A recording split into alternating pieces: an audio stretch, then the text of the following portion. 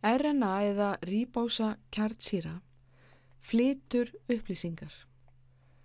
Hana er að finna í litningum, kjarnakornum og umfrimi frumunar. Hún er eitt langband en RNA langbandi það er stittra heldur en DNA langbandin.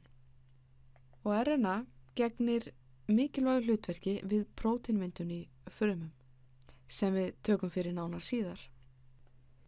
Í RNA eru einnig fjórar ólíkar netubassagerðir. Rétt eins og í DNA. Þær eru adenín, úrasil, guanín og cytosín.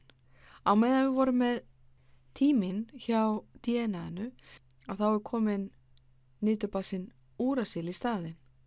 Þessir nýturbassar tengjast saman þannig að A tengist alltaf U og sömuleiðis G tengist alltaf C eins og hjá DNA. Og af þessu leiðir að það eru fjórar gerðir kyrna í RNA með þessum fjórum mismunandi gerðum af nýtubössum. Og í RNA er sigurinn í langbandinu ribósi.